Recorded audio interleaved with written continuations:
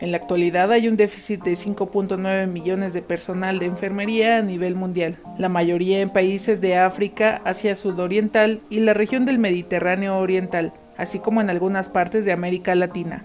Así lo señaló la Organización Mundial de la Salud a través del informe Situación de la Enfermería en el Mundo 2020, el que también reveló que el personal de enfermería cuenta actualmente con cerca de 28 millones de profesionales en todo el mundo.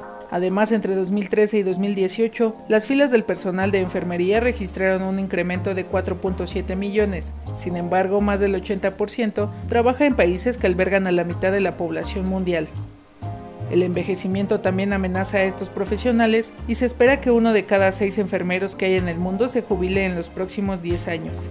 Destacó que aproximadamente 90% de todos los profesionales de enfermería son mujeres. De ellas, una mínima cantidad ocupa puestos directivos en el sector salud. La organización indicó que se debe aumentar el número total de graduados a razón de 8% anual en promedio y mejorar sus opciones de obtener empleo y retenerlo en el sistema de salud.